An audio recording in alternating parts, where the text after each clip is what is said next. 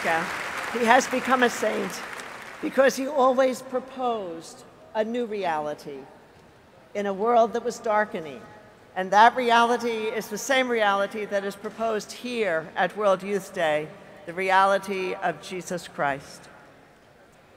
So I thought today, as I was speaking to you about the thoughts of Pope John Paul II, that I would speak about simply three things.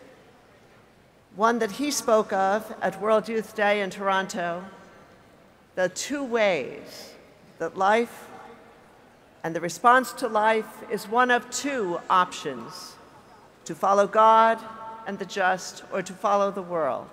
And the second is a question of identity who am I? And who are you, God? And the third is the freedom, the freedom that the saints have found. So let me begin.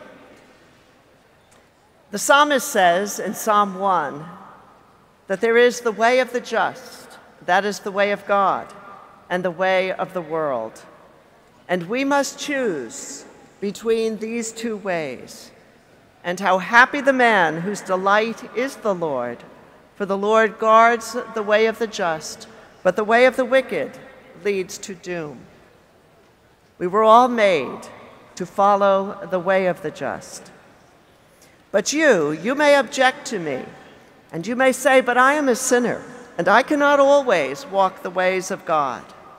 And I say to you, welcome.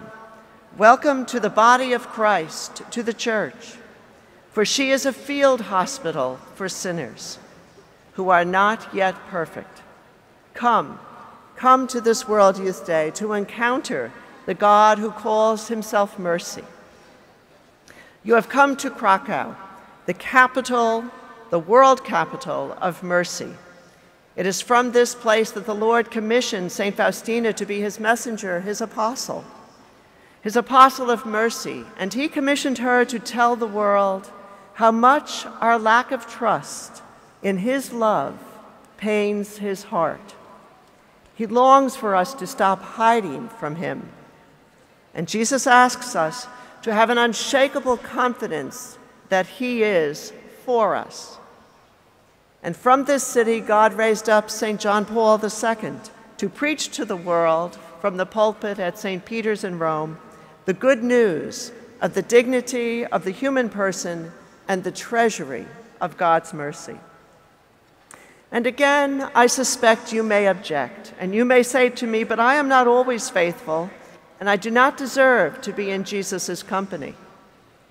Welcome, I say to you, welcome to the family of those whose desire to be faithful is greater than their capacity at times to remain faithful.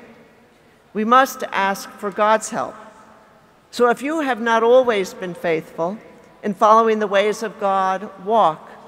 Walk with repentance into the arms of his forgiving mercy, which awaits you this week in the sacrament of confession. And let the words of St. John Paul II to the young people at another World Youth Day, echo in your hearts. We are not the sum of our weaknesses and failures. We are the sum of the Father's love for us and our real capacity to become the image of His Son. We have a choice to follow the ways of the Lord or to follow the ways of, of the world. Which will you choose? And now, to identity. We ask the question Who are you, God? And who am I? Before you existed, God thought of you, and his desire for you was the genesis of your being.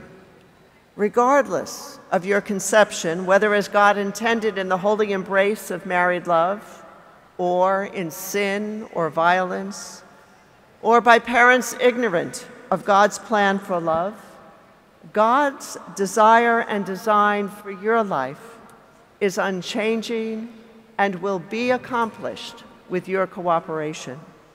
Each one of us is a child of God, a longed for daughter or son of the Father of mercies, created in time to live forever, a person sacred for you bear the image of God, possessing an innate capacity for freedom, the ability to know God, and to grow in his likeness through communion of love found in his Son, Jesus Christ. You are a delight to the triune God who longs to bring to you the greatness he created for you.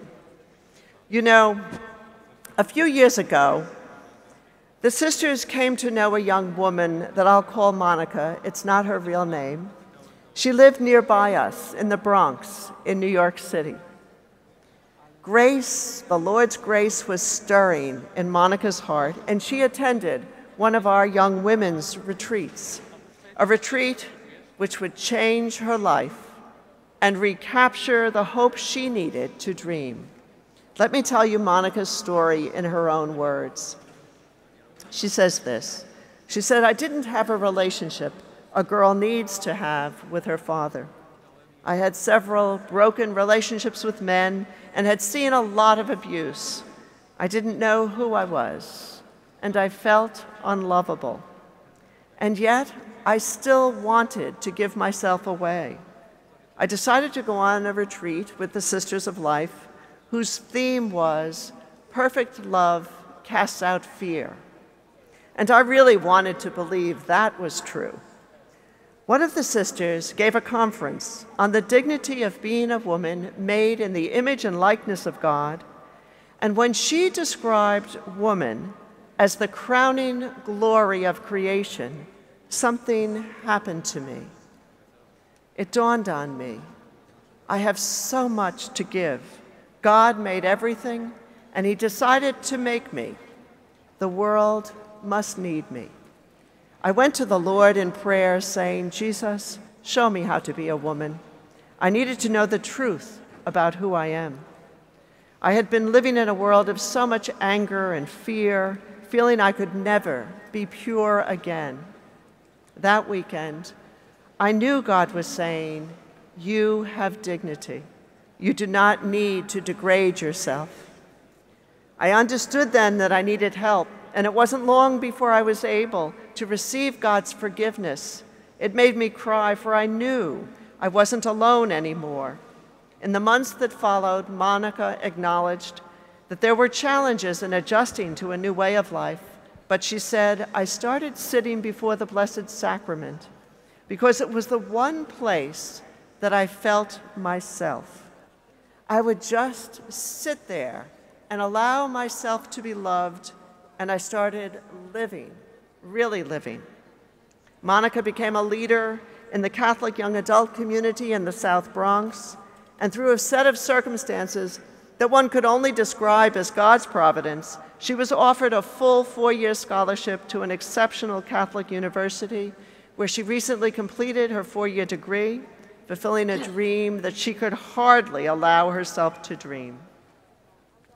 Like Monica, you have come to World Youth Day to encounter Jesus Christ.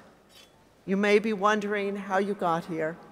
You were signed up by a parent, you came because a friend was going, or someone handed you a ticket at the last moment. But honestly, those are not the reasons you are here. You are here because God chose you to be here, to be here to discover your true identity. And among you, there are those young pilgrims who have yet to encounter Jesus Christ, and we will pray with you these days that you come to an understanding and to an experience of who he is. And there are young pilgrims here who have known Jesus and have parted from his company for a week, for months, for years perhaps. And Jesus invites you to reclaim the innocence and the peace and the freedom of living in his presence. And there are young pilgrims here who know Jesus Christ and live in his life. Pray. Pray for the grace to open the doors of your heart and your mind to Christ so that you may encounter the living God and come to know and receive your life as a gift, to know and experience that you are a gift for others and that each of you has been created in love, and that your life is a question to which love is the only answer. And to know that the horizons of your life include the supernatural, make room for the mystery of God. It is the Christian, the disciple of Jesus Christ, who knows the freedom of the sons of God in Christ and within the sacramental life of the church, the mystical body of Christ, we are set free to live fully. Once set free in Christ, you will experience in full measure your dignity as a human person and find God's plan for love. It is in Christ that you can stand secure in this world with the knowledge and the confidence that Jesus' loving gaze never departs from you. That was the rock on which the saints of this city stood in the midst of turmoil, oppression, and persecution. And know that somewhere in the world there is someone whom you may never know who prays daily for you. Rely on those prayers, for they will win you the strength you need to respond to the whisper you hear in your heart that tells you that your life is important and that you are loved without measure by the God who created you. These truths will set you free. Live believing the truth about yourself, and you will become a witness to the greatest freedom of all men and women, fully alive in the Lord and capable of reflecting the glory of God. May God bless each one of you.